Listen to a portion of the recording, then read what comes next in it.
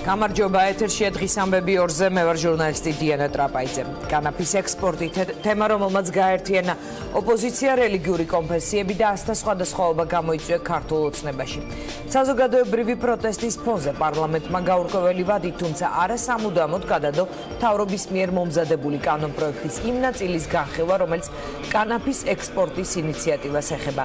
როგორი ფორმით და რა შემთხვევაში მიუბრუნდება მას საპარლამენტო უმრავლესობა ეს გაირკვევა საკითხზე ფართო საზოგადოებრივი მსჯელობის შემდეგ ყოველ შემთხვევაში ასე გვპირდებიან პარლამენტის იურიდიულ საკითხთა კომიტეტის თავმჯდომარის ეკა ბესელიას ინიციატივით იქმნება ჯგუფი რომელშიც ექსპერტები რელიგიური კონფესიების წარმომადგენლები არასამთავრობო ორგანიზაციები პროექტის ინიციატორები და პარლამენტარები იმუშავებენ და ერთობლივად გადაწყვეტენ საქართველოსი კანაფის ექსპორტის და კულტივაციის მომავალს. ქართული ოცნების დეპუტატების ის ნაწილი რომელიც ექსპორტის იდეას იზიარებს თან ხვდება რომ გადაწყვეტილების მიღებისას ერთ-ერთი გამსაზღვრელი სწორედ საპატრიარქოს პოზიცია იქნება.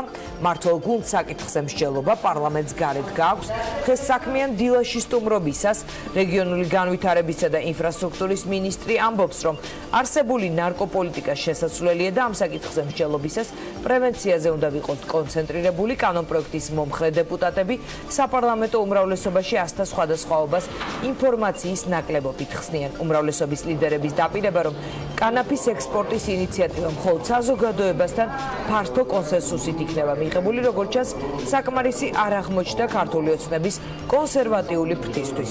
მოვისმინოთ განცხადებები რომელიც დღეს ამ თემაზე გაკეთდა რეალურად ჩვენ მარიხუანის მოხმარების ნაწილში იხადა სრული ქაოსი და დაულჯელობა ქონდა დღეს გავაჩინეთ საზოგადოებრივი აზრის ზემოქმედების ძალიან დიდი ინსტრუმენტი. სტრუქტურული ცვლილებები გავატარეთ და თქვით რომ ჩვენ შინაგან საქმეთა სამინისტროს გვაქვს ეფექტური კონტროლის საშუალება აი ამ ინსტრუმენტებს. იმ შემთხვევაშიც კი, თუ ამას მოყვება შემდგომი ნაბიჯები მედიცინის სამედიცინო ინტერესებიდან გამომდინარე, შინაგან საქმეთა სამინისტროს აქვს საშუალება და ეკნება ეფექტური კონტროლი. ეს რაც ხედდება, რაც ასე ვთქვათ, რეგულირების ნაწილში გავაკეთებ. ეს პირიქით შინაგან საქმეთა სამინისტროს ეხმარება, რომ მისი მკაცრი ნარკოპოლიტიკა განახორციელოს კიდევ უფრო ეფექტურად. მოხმარებასთან ერთად, როდესაც საუბრობთ რეგულაციაზე, ამასთან ერთად უკვე კულტივირების რეგულაციასაც, ასევე კულტივირებასაც შეიძლება რეგულაცია.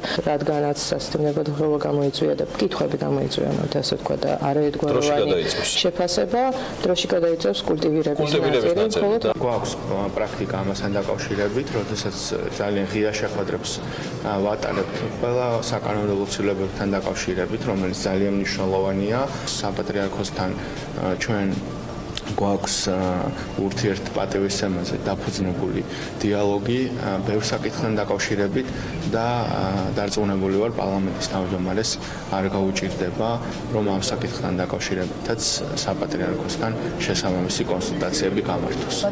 მარიხუანის კულტივაციის საკითხი ეს არის მათ სურთ რომ გამოიყენონ ასე ვთქვათ ეს პროცესი იმისთვის რომ განახორციელონ საკუთარი ბიზნეს გეგმები ქართული ხალხის ჯანმრთელობის ფსიქი ფსიქიური, სულიერი და ფიზიკური ჯანმრთელობის ხარჯზე. ამიტომ ამ განხილვებში ჩვენ მონაწილეობის მიღებას არ ვაპირებთ. ძალიან კარგად გამოსა თუ რა დამოკიდებულება აქვს ქართულოცნებას მნიშვნელოვანი თემების მიმართ.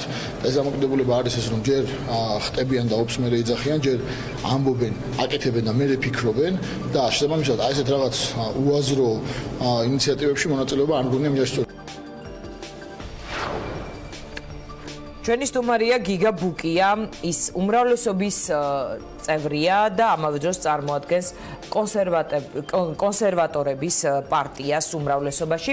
ბატონ გიგას მიესალმები მადლობა რომ ხარ ჩვენთან ერთად. თქვენ რომელ ჯგუფს მიეკუთვნებით მაყურებლისთვის რომ განმარტოთ კიდევ ერთხელ? იმათ ვინც მომხრეა შეჩერების გადადების განხილვის თუ საერთოდ